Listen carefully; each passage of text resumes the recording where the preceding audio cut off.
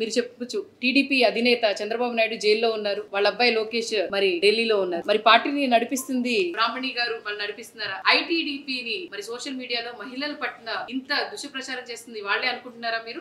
ఏ doubt లేకుండా నారా బ్రాహ్మణి మరియు నారా భువనేశ్వరి అని చెప్పని ఎగ్జాక్ట్గా చెప్పొచ్చు. ఎందుకనంటే ఇక్కడ భయంతో కూడా పార్టీని ఎలాగోలా ప్రజల్లోకి తీసుకువెళ్ళాలి అనేటటువంటి కాన్సెప్ట్తో మాత్రమే నారా బ్రాహ్మణి మరియు నారా భువనేశ్వరి గారు ఈ దుష్ట ప్రచారాలకి శ్రీకారం చుట్టారు. ఎందుకంటే మరి జైల్లో ములాఖత్లో మిలాఖత్ అయ్యి జనసేన నేతతో మరి కలిసి బయటకు వచ్చి మరి తన భర్త తన తండ్రి అట్లాగే పవన్ నాయుడు గారితో మరి స్టేట్మెంట్ ఇవ్వడంతో నేనున్నాను బాలకృష్ణ గారు మీకు గుర్తుందో లేదో నేనున్నాను పార్టీ శ్రేణులు ఎవ్వరు మీరు కంగారు పడద్దు నేనున్నాను నేను నడిపిస్తాను అని ఆ రోజు స్టేట్మెంట్ ఇచ్చాడు అంతే పాపం మహానుభావుడు బాలకృష్ణ గారు. నిజంగా నిజంగా పార్టీని వాళ్ళ నాన్న ఎక్కడ కైవసం చేసేసుకుంటాడో ఎక్కడ ఆయన పార్టీ శ్రేణులకి అండదండలుగా నిలబడిపోతాడో మరి దూరంగా పారిపోయి బ్రతుకుతున్న నా భర్త పరిస్థితి రేపొద్దున పార్టీలోకి మళ్ళీ రీ ఎంట్రీ ఇస్తే పొజిషన్ ఏంటో అసలే ఇప్పుడు ప్రస్తుతానికే పప్పు సుద్ద అనుకుంటున్నారు. మరి మా నాన్న గనక లీడ్ తీసుకుంటే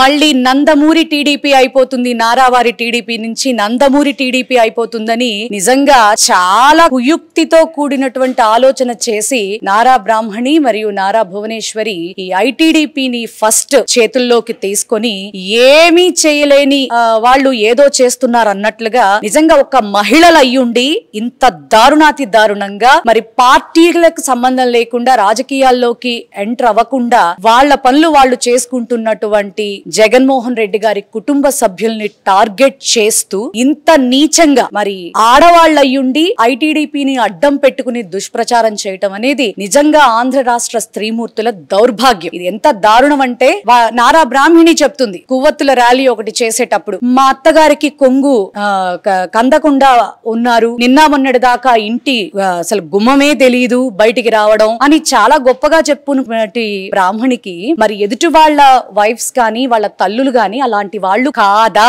అనేటటువంటి సంస్కారం నీకుందా అని అడుగుతాను మళ్ళీ హెరిటేజ్ని నడిపించేటటువంటి గొప్ప మహిళనని చెప్పుకుంటావు మా మామగారు నన్ను ఎంతో ప్రోత్సహించారని చెప్పుకుంటా. నిజంగా స్వామి భక్తి చాలా గొప్పగా చూపించుకుంటున్నావమ్మా ఆనాడు తాతని వెన్నుపోటు పొడిచిన ఏం మాట్లాడలేదు నువ్వు? అలాగే తండ్రిని వెన్నుపోటు పొడిచిన నీ అత్త మాట్లాడలేదు. ఈ రోజు కూడా మీ తండ్రి గారు వచ్చి నేను పార్టీ శ్రేణులకి అండగా ఉంటాను అని చెప్పిన క్షణం నుంచి నీ అత్యుత్సాహం మీ అత్తగారి అత్యుత్సాహం ఎక్కడ మళ్ళీ నందమూరి టీడీపీగా మారిపోతుందో అని చెప్పని చెప్పని నిజంగా నువ్వు పడుతున్నటువంటి తాపత్రయానికి నిజంగా వెన్నుపోటు మామగారే అనుకున్నాను గానమ్మా. మీ ఎంటైర్ ఫ్యామిలీ మొత్తం వెన్నుపోటుకి బ్రాండ్ అంబాసిడర్స్ అని చెప్పిన కన్న తండ్రిని కూడా వెన్నుపోటు. అప్పుడు భువనేశ్వరి చూస్తూ కూర్చుంది. ఇప్పుడు ప్రత్యక్షంగా నువ్వు బాలయ్య బాబు గారికి కూడా నువ్వు వెన్నుపోటు పొడిచి నందమూరి ఫ్యామిలీని ఎంత వరకు ఉంచాలో అంతవరకే ఉంచుతాం. పెత్తనమంతా పెత్తనం అంతా మాదే ఉండాలి. ఎప్పుడైనా ఎందుకైనా చచ్చినా బతికినా మాదే పై చేయి అంటా ఉంటారు కొంతమంది. చ- చేవలేని వాళ్ళు. అలా అలాంటి పరిస్థితుల్లో అలాంటి దుస్థితుల్లో మీరు ఆడవాళ్ళుగా ఇంత దారుణాతి దారుణాలకి ఇదవ్వడం అనేది చాలా దురదృష్టకరం అమ్మ నిజంగా ఎందుకంటే రాజకీయాల్లో ముందుకెళ్తున్నటువంటి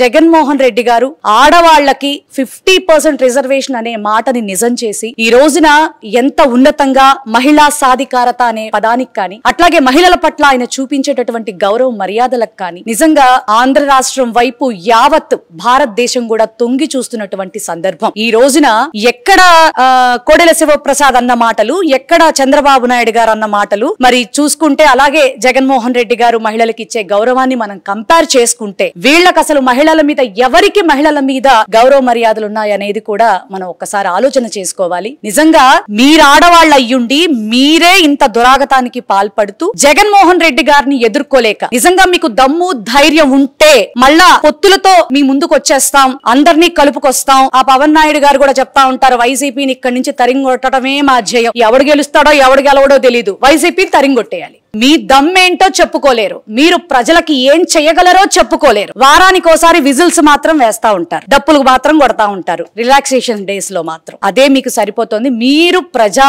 క్షేత్రంలో ప్రజా నాయకులుగా మీరైతే పనికి రానటువంటి వ్యక్తులు. ఆఖరికి ఒక ఆడవాళ్ళుగా కూడా మీరు సిగ్గుపడాల్సినటువంటి వ్యక్తులుగా మాత్రం నిజంగా ఈ రోజున జగన్మోహన్ రెడ్డి గారి కుటుంబంలో ఎటువంటి సంబంధం లేకుండా రాజకీయానికి బ్రతుకుతున్నటువంటి వాళ్ళని కూడా టార్గెట్ చేసి ఇంత నీచంగా ఒక ఒక మీడియాని అడ్డం పెట్టుకొని మీరు చేస్తున్నటువంటి ఈ ప్రచారాలకి నిజంగా భగవంతుడు వేసే శిక్ష మామూలుగా ఉండదు. స్త్రీమూర్తులైనందుకు యావత్ ఆంధ్ర రాష్ట్ర స్త్రీలోకం కూడా సిగ్గుపడుతున్నటువంటి సందర్భం.